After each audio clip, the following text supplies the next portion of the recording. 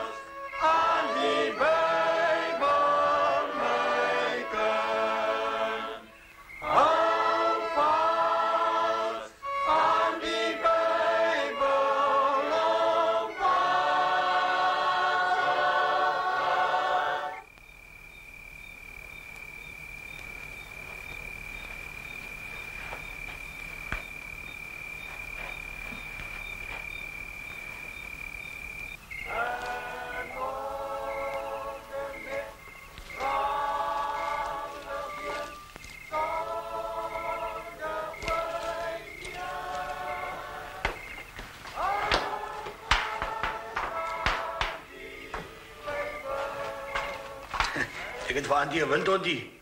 Hierso. Is lekker vir die holkrop. Ken nie maniere nie. Hoe nou, Antie? Mens vra eers vir 'n dame of sy 'n drankie wil hê. En dan as sy knik, dan vra jy ja. Sherry of port dan? Sorry, Antie, ekskuus. Wil Antie 'n sherry of 'n port hê? Nee, begin nou weer. Haal af Joet.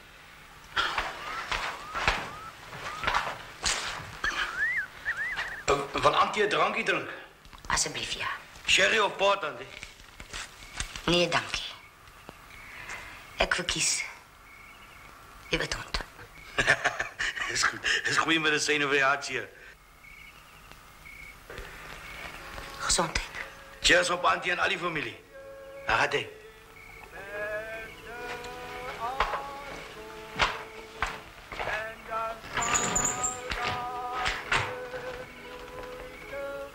Ik is al wat nou oors.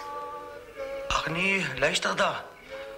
Opaai en die volk en die meiden, dan zei ik ook nog. Hij is niet bloedfamilie.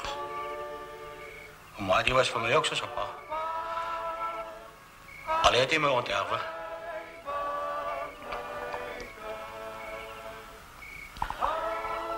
Ik kan van al die vragen voor mij ook zo'n kransje tekenen. Maar ek wil hom môre in die graf gooi. Ek meen.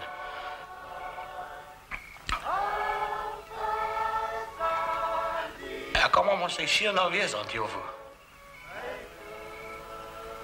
Sal Antie. Hè? Jy nog van hy weet hond nie.